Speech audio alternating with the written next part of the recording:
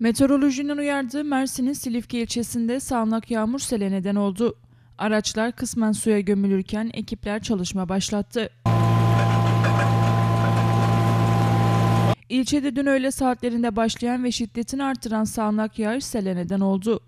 Yağışla birlikte Saray Mahallesi, Atatürk ve İnönü caddelerinde bazı araçlar su altında kaldı.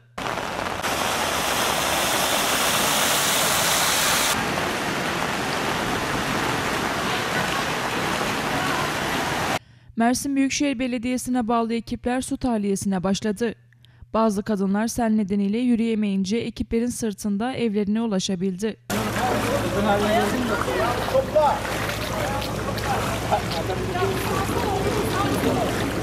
Otomobili suya gömülen Onur Çetin iş yerinde çalışıyordum. Arabamı buraya bırakmıştım.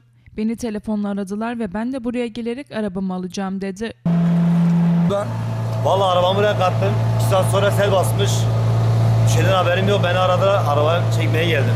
araba su dolmuş mu? Şu an bakmadım. Daha bakamadım ama büyük ihtimalle dolmuştu. Geçmiş olsun. Yağışların bir süre daha devam edeceği öğrenildi. Öte yandan Mersin'in Tarsus ilçesinde sit alanı içerisindeki metruk bir evin duvarı yağış nedeniyle çöktü. Şehit Kerim mahallesinde sit alanı içerisinde bulunan metruk binanın duvarında yağış sebebiyle çökme meydana geldi. İhbar üzerine olay yerine gelen belediye ekipleri evin çevresinde güvenlik önlemi aldı.